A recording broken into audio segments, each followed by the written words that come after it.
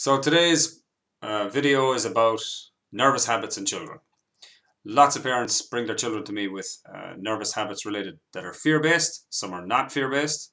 And what do I mean by that? So fear-based ones are nail biting. That's the classic. And often you'll get children that are they're biting their nails the day before they have to go to school or back to school. It's a classic one. Or they're nervous about a, an event that's coming up like a sports game or who knows, it could be anything things, all sorts of things can trigger, trigger children into being afraid. But nail biting is, is something that, you know, you can almost reason with them. But there are, there are other nervous habits that, um, like sort of almost like tics, that are beyond reasoning. And so you might get a child who's excessively blinking, or a child who's constantly scratching their nose, or wriggling their nose, or um, moving their head in a funny way, or uh, standing on one leg a lot. And you can say it to them, but they can't really seem to stop it, and sometimes they're not even aware of it. And I wrote a blog post called um, Nervous Habits on my website, tonygalvin.com, if you want to go and look at it. some more details about this particular one. But this story describes really well, actually, how the kinesiology process works or, and, and how it can affect the child. So this one child came to me with a number of different things going on. He had fear of the dark, he was um, he was bedwetting. He had a lot of nervous system stress. He was a little bit uncoordinated. He's a little bit of dyslexia too.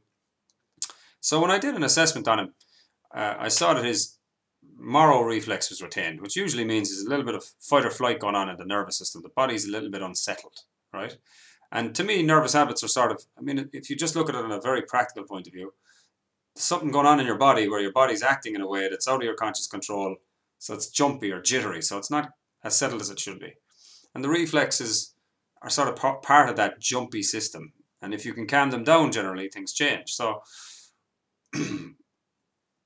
what he was doing was he was excessively licking his bottom lip. And he had a ridge, a red ridge under his lip that was marked because of that.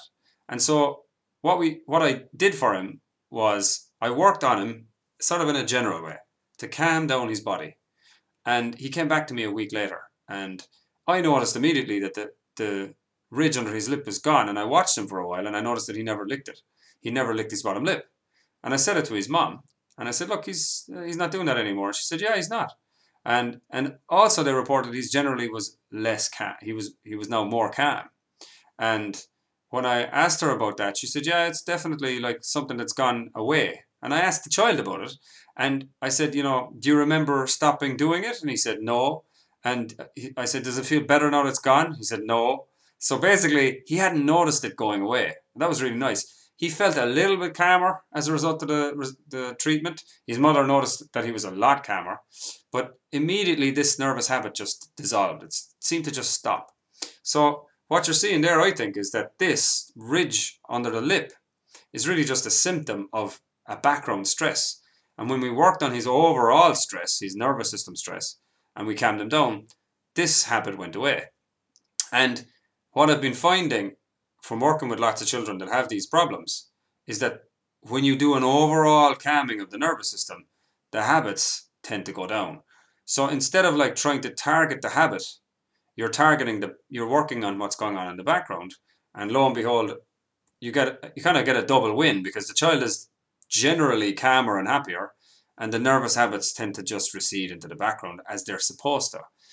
Um, the brain is supposed to work that way when you're meant to be able to inhibit these things as your higher brain develops. But the more the survival brain is overstimulated, uh, which is where the primitive reflexes come in, the more those nervous system habits are going to manifest. So that was a fascinating one for working on that kid. Um, I'm going to talk a little bit more about that um, further on, there's going to be more uh, posts about uh, the reflexes coming up. Um, if you'd like to subscribe, you'll get those alerts. Please subscribe. I'd be delighted if you did, just to boost the, the views.